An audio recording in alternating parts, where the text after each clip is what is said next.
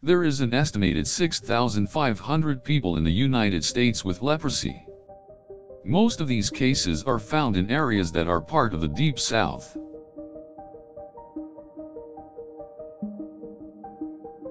The highest concentration of cases can be found in Louisiana, Mississippi, Alabama, Georgia, South Carolina, and Texas. However, pockets of leprosy can also be found in other parts of the U.S., such as New York, California, and Florida. In Louisiana, the Lafayette-based National Hansen's Disease Programs, NHDP, has increasing numbers of leprosy cases every year.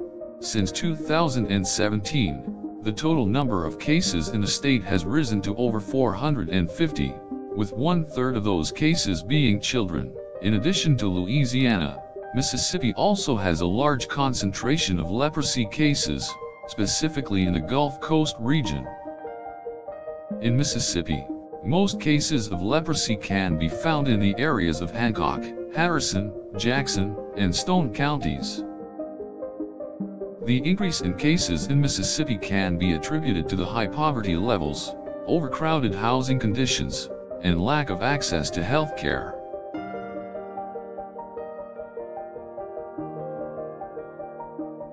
The estimated number of cases in Alabama is between 20 and 30 annually.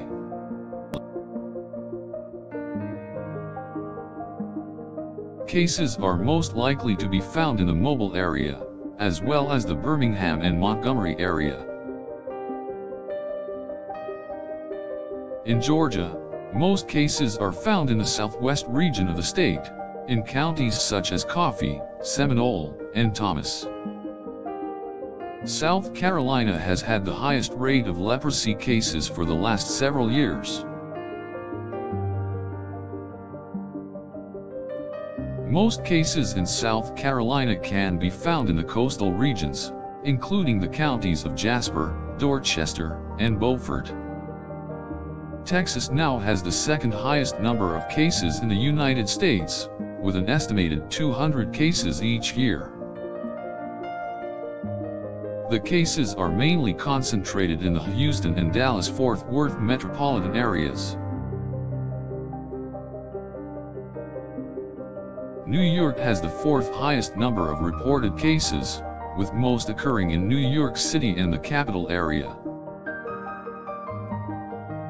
California also has an estimated 40 to 45 cases annually.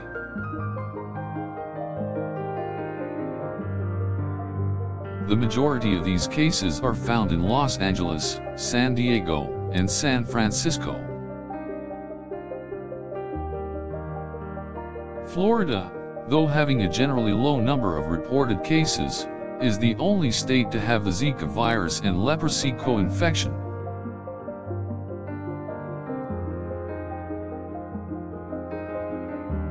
Here, most cases have occurred in Miami-Dade County.